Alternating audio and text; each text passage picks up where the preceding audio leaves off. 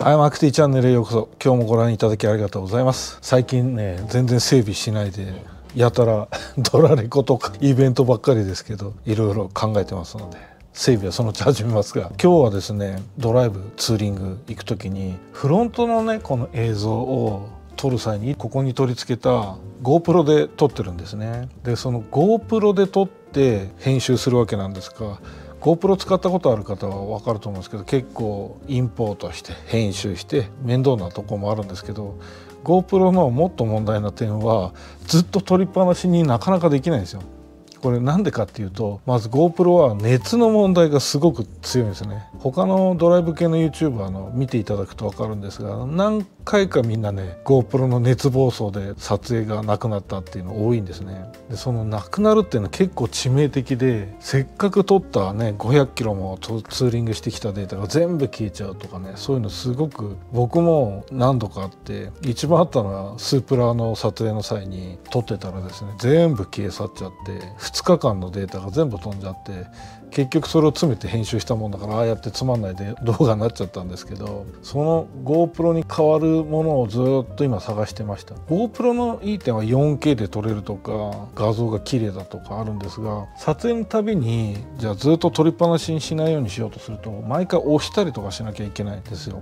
毎回押すっていう行為はやっぱり車運転してても危ないしあここって言った時は撮影しだしてももう通り過ぎちゃってたりとか思うので常に取りっぱなしにできて 4K のものってないのかなってずっと探してたらなかなかないんですよ。でやっと見つけた商品があるのでこちらですね、えー、このごっついです。これバンチューっていうもんですかね。ドラレコというよりはもうデジカメみたいなものですね。これはフロントとリアカメラあるんですけどフロントカメラに使おうかなと思ってます。で何が便利かっていうと iPhone アプリで動くっていうのがまず1点目のメリットですよね。W i f i でダウンロードできるらしいんですよ。あとこれねフロントカメラが 4K で撮れるっていうことプラス800万画素。それとですね120フレームレートで撮れると。あとは60フレームレートだと1080かな。まあ、その辺こんな感じのスペックなんですけどちょっと期待しちゃうんですよねこれ。そうすればあこのシーンちょっと YouTube のツーリングのシーンに使いたいなって思った時にも iPhone にすぐダウンロードできるしあとはまあ、Mac で編集したりとか Apple 系の製品でも編集しやすいんじゃないかなと期待してます。それともう一つこれがこのカメラの土台らしいんですけどこれね GPS マウントって言ってこれがマウントに GPS になっててこれを入れるとどこで撮影したかがこのカメラ上で場所が分かるんですね。まあ、そんなの当たり前じゃんと思うんですけどこの土台についてるっていうのが素晴らしいなと思って土台についてればわざわざ GPS の配線を合わせる必要もないしただ僕のフロントガラスは電波を遮断するのでそこをどうしようかなって今悩んでます。ということで早速開けていきます。はいそれでは開けてみましょう。さあどんな大きさか。録画中のステッカー2枚。取説お分厚い。日本語もありますね。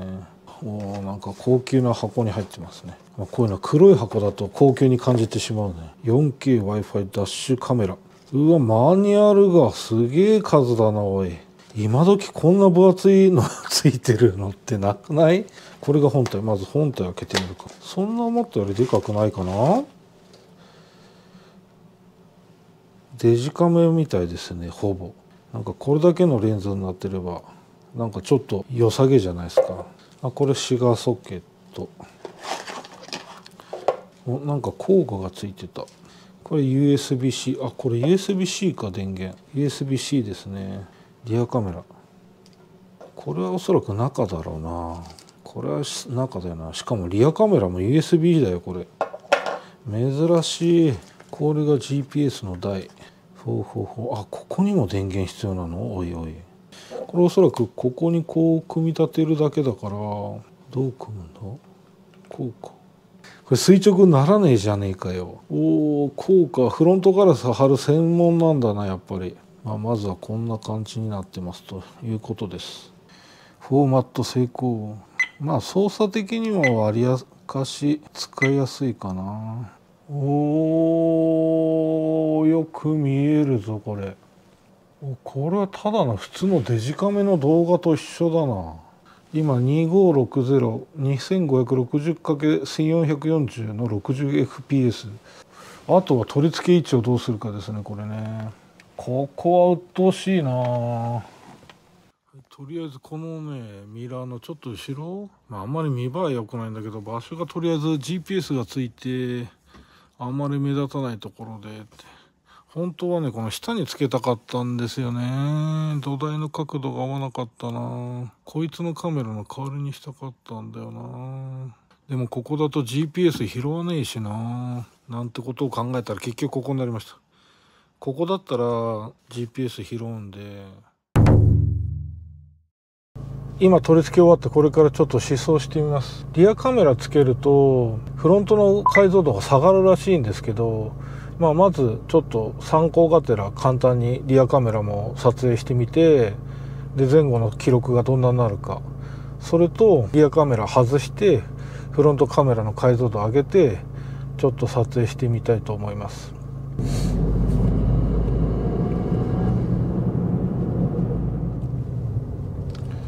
なかなか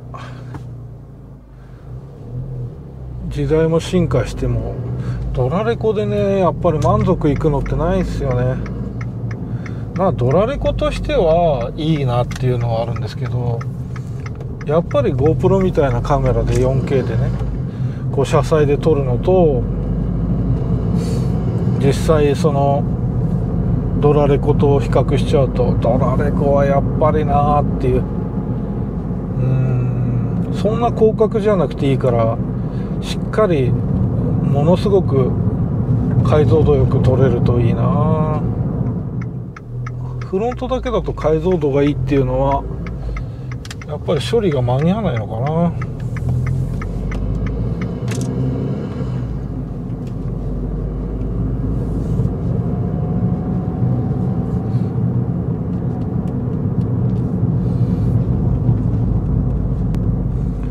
こうやって止まってるトラックとかどうやって映ってるのか後で楽しみですね。やっぱりまず僕は Mac ユーザーなので iPhone でそのままダイレクトに見れるカメラがいいので MaxIn とかもねこれが将来的に MPEG2 ではなくて MPEG4 になって iPhone に直接 Wi-Fi で飛ばせるなんてなったら最高なんだけどな。よし配線外しますか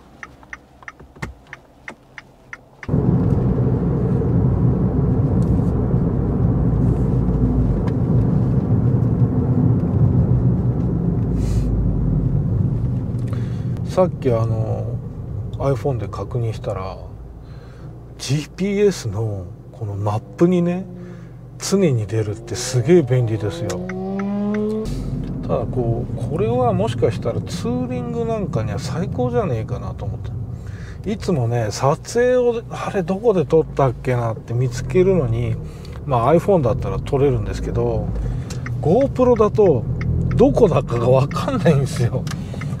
GoPro には GPS が乗っかってないから今の乗っかってんのかな。なんか僕は知らないだけかもしれないんですけどね。GoPro で GPS を取る方法が。はい30フレームの 4K これでどうでしょう。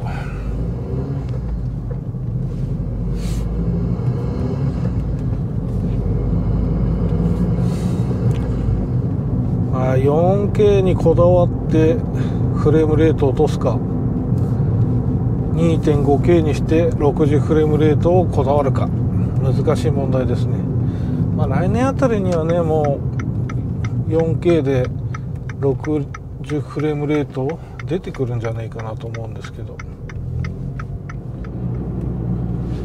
さあ楽しみでございますね。これで今晩編集してよければ明日の動画撮影にちょっとツーリング行ってみようかな。はい今日は引き続きですね。この新しくつけたデジカメのようなドラレコ？ちょっと見てみたくて今芦ノ湖を過ぎて富士山の近くを走ってます。いや今日は景色がね最高ですね。昨日は曇りだったんですけど今日は快晴ですね。さてさて。いやね昨日ちょっと動画をまあ動画っていうかドラレコのねデータを見てどんなもんかなって確認したらですねまあやっぱり画質はいいんですね。ただ僕よく 4K と 2.5K の違い分かんないですけど画角が広がってるだけで画質は変わんないんですよね。僕は画角は一緒で画質がその分上がるんだなと思ったけど単に広がってるだけで。うん。そういうもんなのかな。まあカメラに詳しい方がいたら 2.5K と 4K の違いをちょっとコメント欄で教えていただけたらと思います。で30フレームレートはちょっとうん。なんか普通のよりもっとカクカクして見えますね。だからやっぱり60フレームレートが最低限必須かなというカメラですね。その分まあ画角が狭くはなるんですけど画質はまあまあ、GoPro 並みに使えるかどうかわかんないんですけどまあ割と良かったんじゃないかなって気がしますけどね。あとね僕はね最大の何ていうの勘違いをしたというかあそういうことかと思ったのが GoPro ってジャイロがついてるから振動をこう振動ないように当然こう波なんですかね乗り心地がこうカタカタってなってもスムーズな撮影をしてくれるわけですけど、まあ、だからそれがアクションカメラのいいとこなんですけどよくよくドラレコにはないなということを再生をしながら気づきました。なので微振動のこういう縦揺れの振動が映像に全部入っててあこれはちょっとそうかそういうもんだよなと思って気づいてああそうだそうだそうだってね。で僕の動画編集ソフトはその微振動を減らす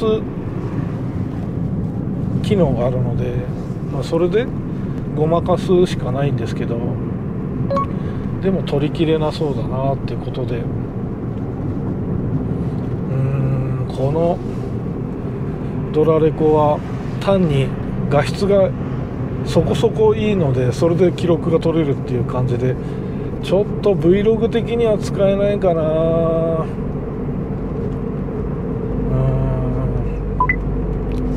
やっぱりこう常に撮ってる動画で GoPro みたいに撮れるのってないんですかね。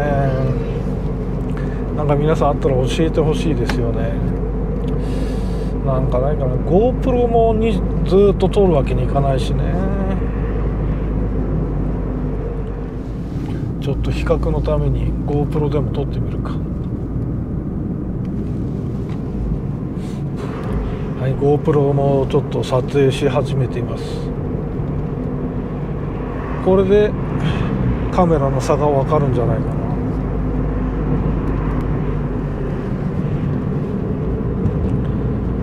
いやそれにしてもなかなかね綺麗な動画を撮るのって難しいんだなって改めて感じますね。